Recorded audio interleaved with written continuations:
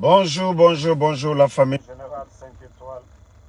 J'espère que vous allez bien liker, partager la vidéo dans tous les groupes. Famille, on dit la vérité finit toujours à triompher. Il y a un moment, je vous ai parlé ici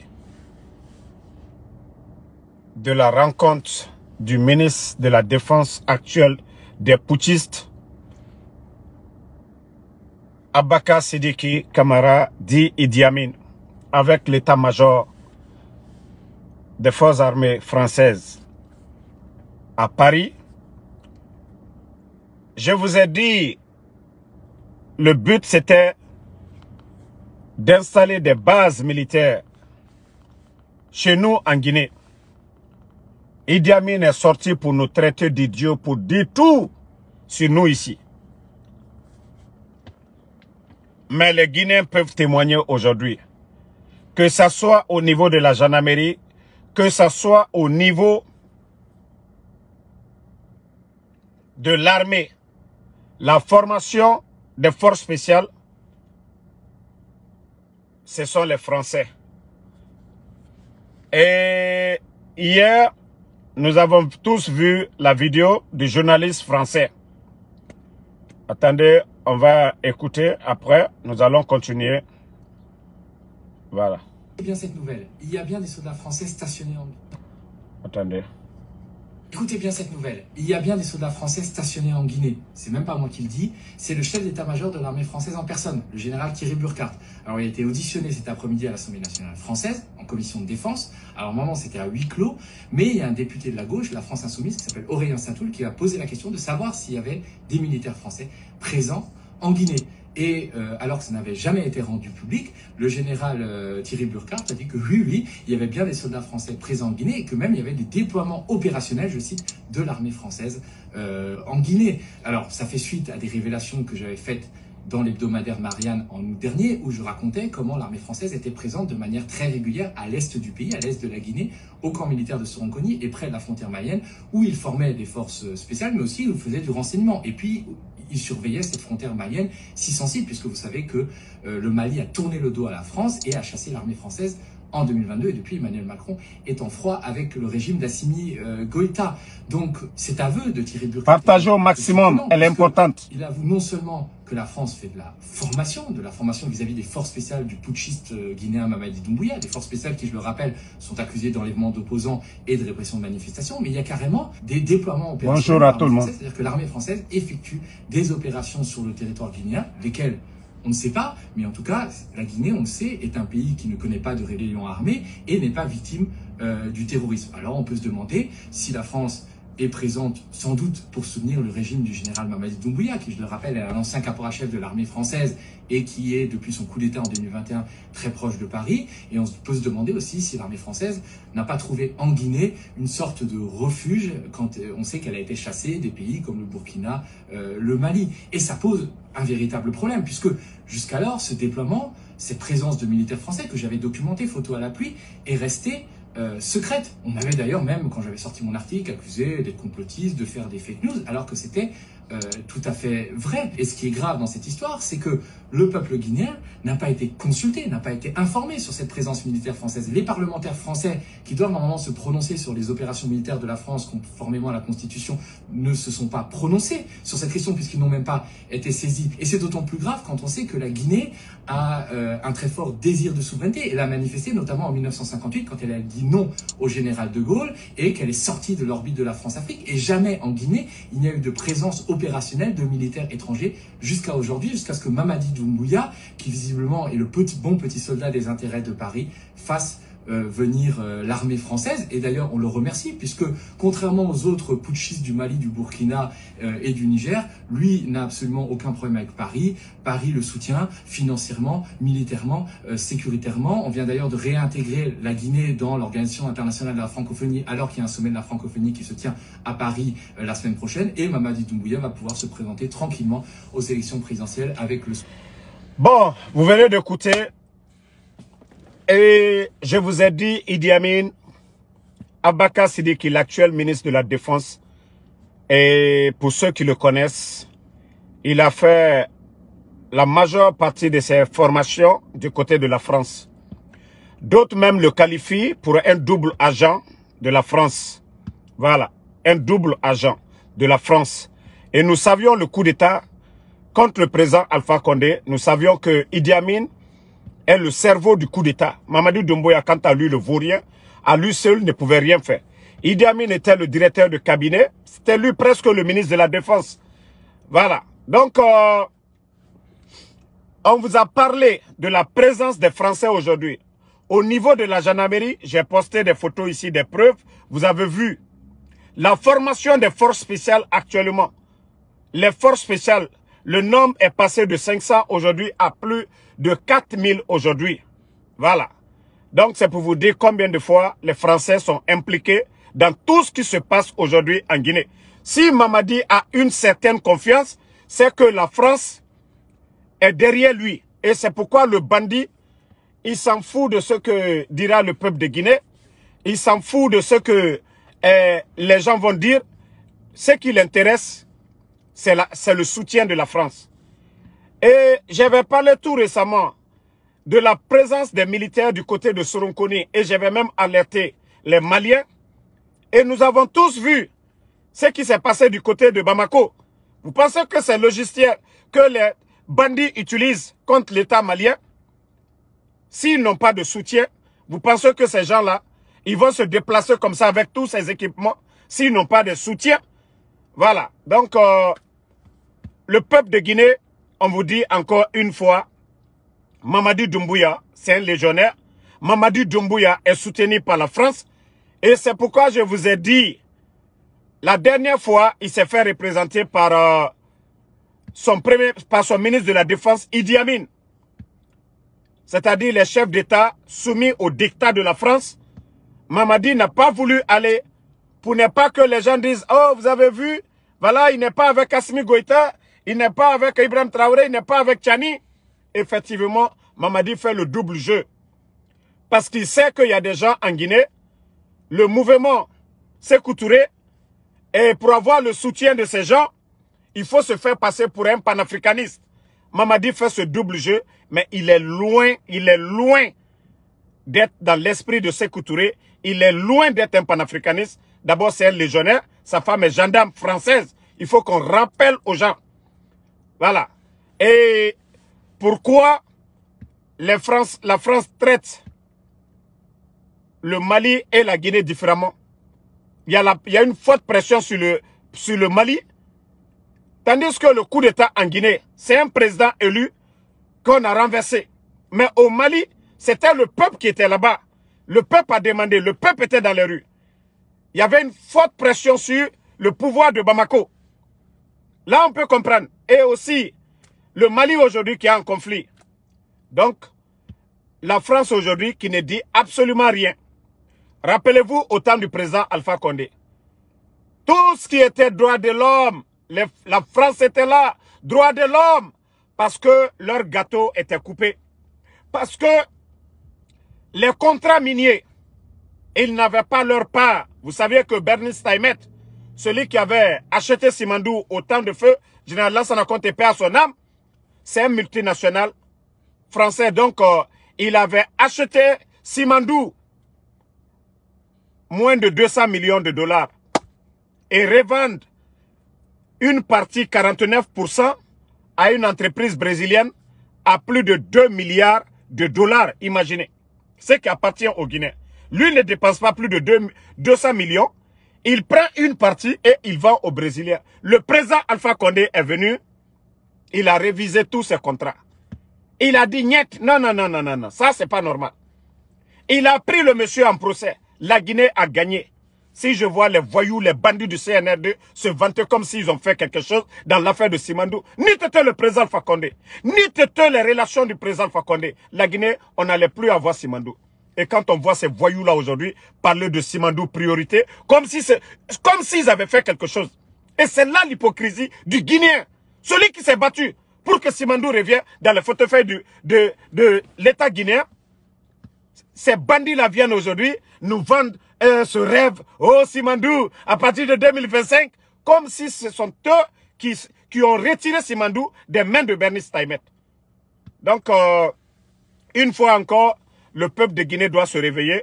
Mamadi, c'est un putschiste, c'est un légionnaire. Il n'est pas venu pour euh, aider la Guinée. Voilà.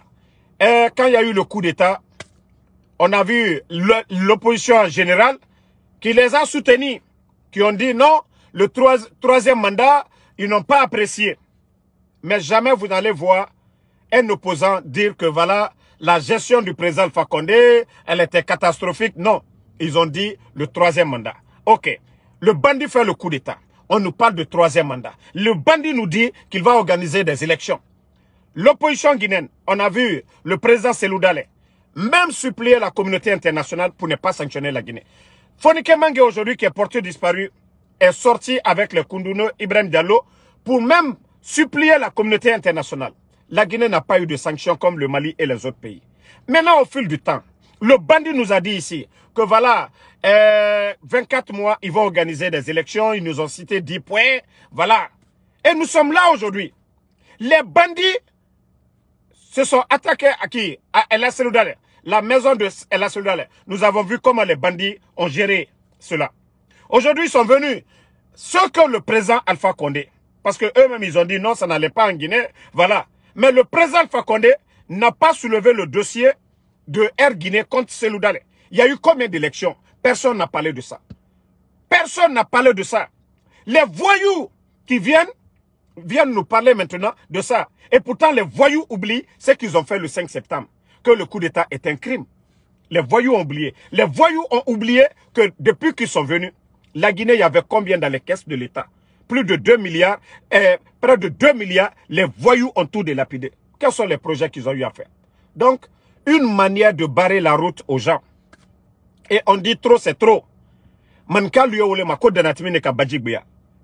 Quoi qu'on dise, El Seloudale a trop accepté. Il a accepté, il a accepté, il a accepté.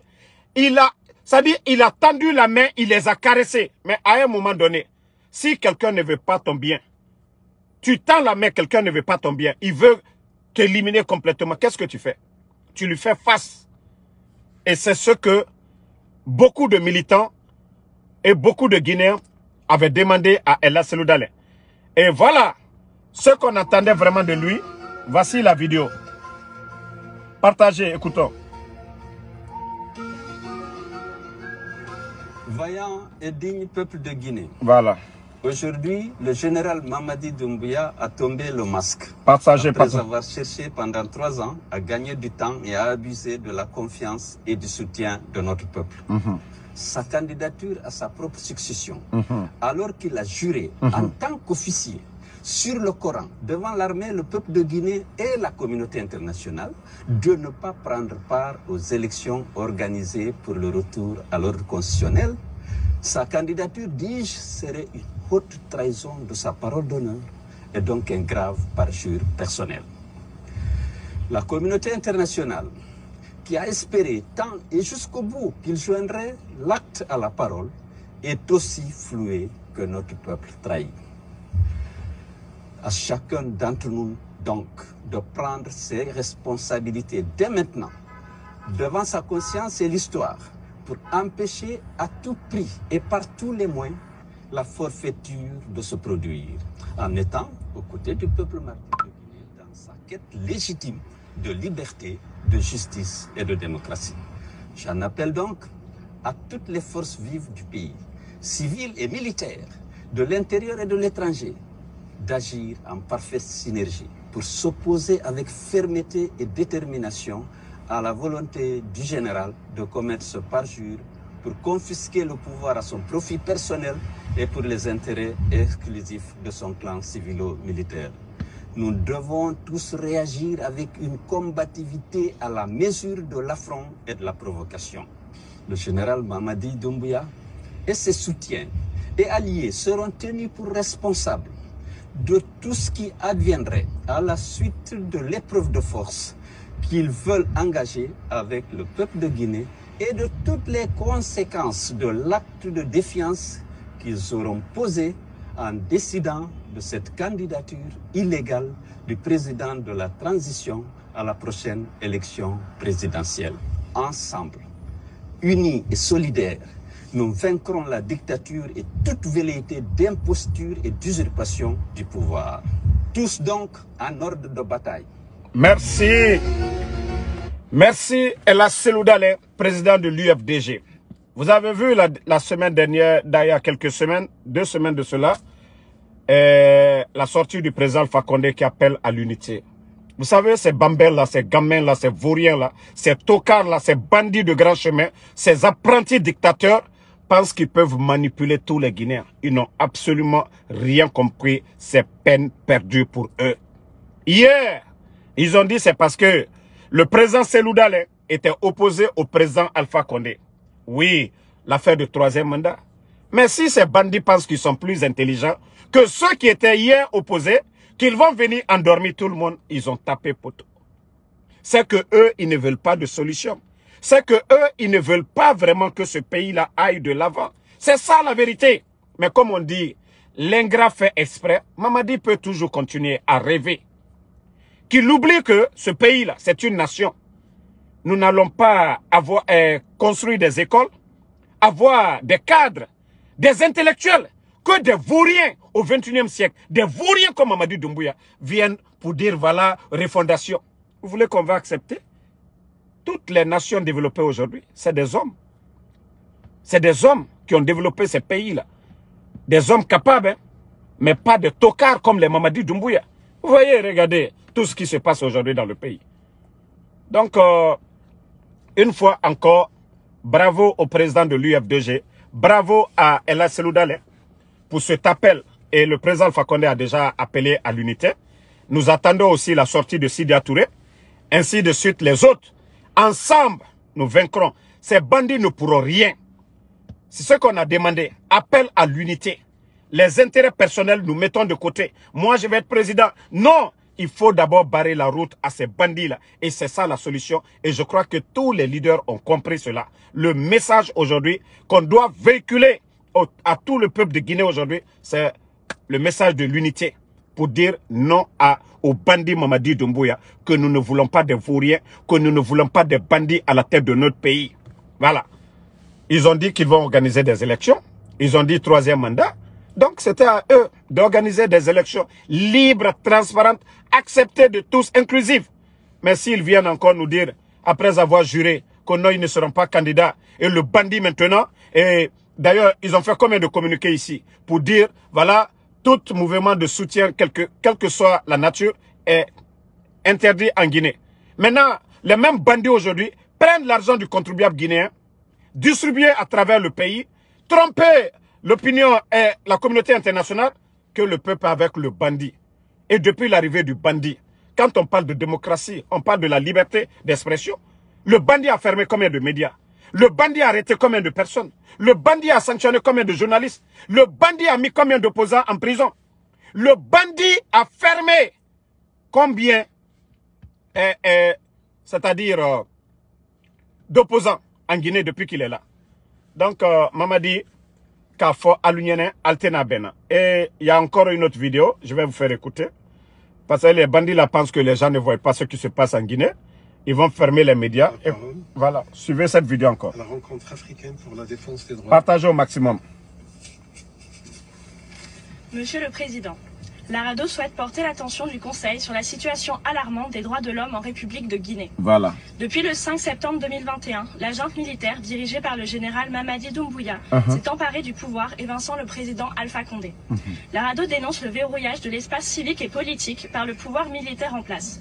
Depuis leur prise de pouvoir, les organisations politiques et associatives se sont vues refuser l'exercice de leur liberté fondamentale par l'interdiction systématique de manifestations, la restriction de l'accès aux réseaux sociaux et la suppression de nombreux sites et médias d'information. De plus, notre organisation condamne fermement les arrestations et la détention arbitraire d'opposants et de membres de la société civile se multipliant dans une impunité totale. Notre organisation est par ailleurs terriblement préoccupée par l'arrestation et la disparition d'un de ses membres, Oumar Silla, alias Fonike Mangue. L'irruption de groupes armés au domicile de l'activiste sans motif ni mandat de perquisition est en violation directe des normes des droits humains et du droit international. Dans cette situation critique, la RADO condamne sans réserve l'instauration d'un climat politique et social répressif en Guinée, exige de la junte militaire la libération inconditionnelle des personnes arbitrairement détenues, demande au Conseil des droits de l'homme, à la communauté africaine et internationale de rompre le silence et de dénoncer les agissements de la junte militaire en République de Guinée. Et enfin, invite la tenue d'élections présidentielles libres et transparentes dans les plus brefs délais. Je vous remercie pour votre attention. Merci. Vous savez, je vous ai dit, les bandits là pensent qu'ils sont cachés. Et ils pensent que non. Et le soutien de la France, c'est ce qui va les aider. Maman dit, Wallah, c'est peine perdue. Pour Dadi, ça n'a pas marché ici. Vous avez enlevé le président Fakonde. Vous pensez que les Guinéens n'ont rien dans la tête. Vous n'avez absolument rien. Déjà, j'ai dit aux gens, ils ont leur plan B. Si vous remarquez aujourd'hui, les bandits ont commencé à faire sortir l'argent. C'est pourquoi il y a un problème de devise actuellement. Les milliards qu'ils ont amassés, l'argent qu'ils devaient prendre pour réaliser eh, des travaux, ils n'ont pas réalisé ces travaux. Regardez l'état de nos routes aujourd'hui, à travers le pays. Tous les Guinéens sont témoins, le temps du président Fakonde. Nos routes, il y a eu des pluies, il y a eu des fortes pluies.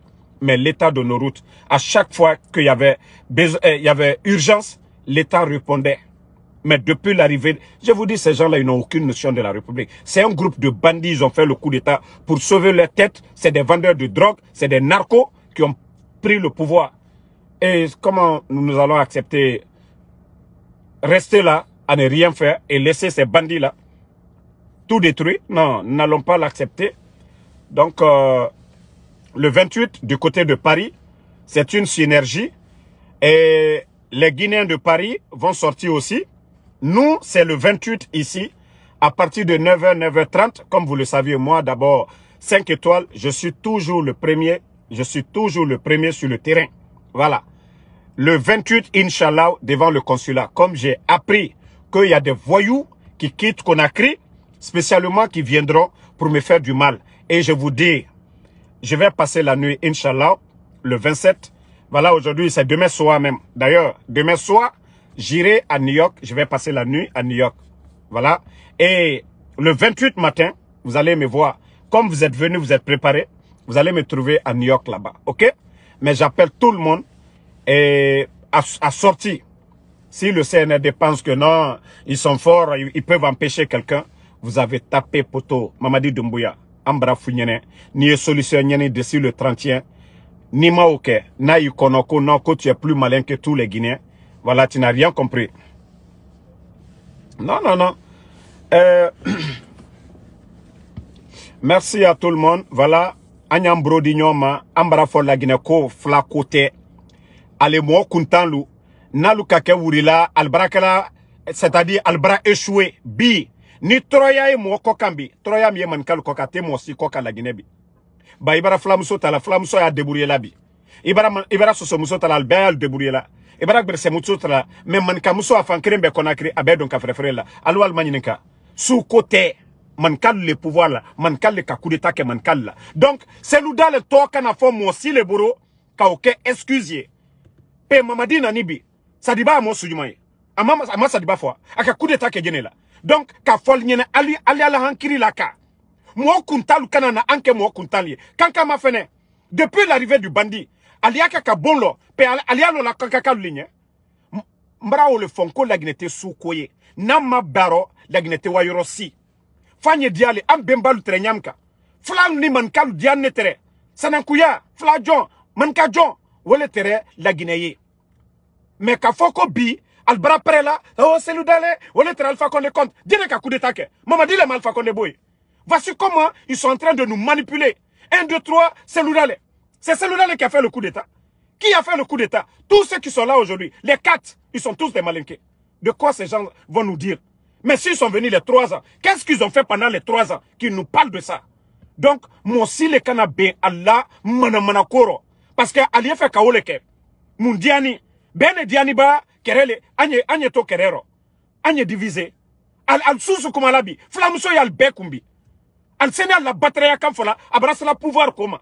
Kono c'est kenta abonita donc nous appelons à l'unité. Ni kaye molu moneni bi. Silate.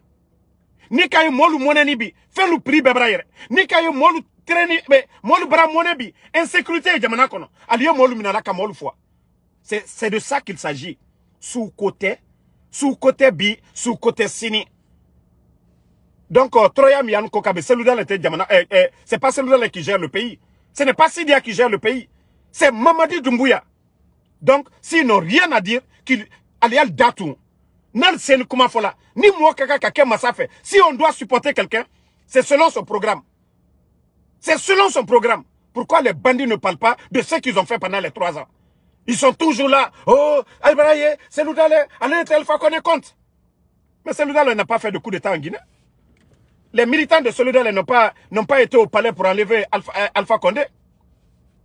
Hein? Donc, euh, on appelle tout le monde à l'unité nationale. Voilà. Et aujourd'hui, ils sont dos au mur. Déjà, la situation économique, on n'en parle même pas. La situation sécuritaire, on n'en parle pas.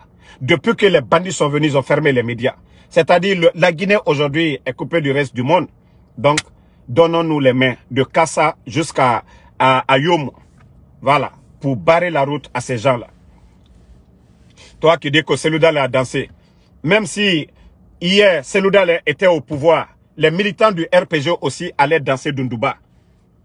Ici aux États-Unis, on a vu Trump, il y a quatre ans de cela, ils ont envahi, ces militants ont envahi le Congrès. C'est ça l'opposition, mais ils n'ont pas pris d'armes.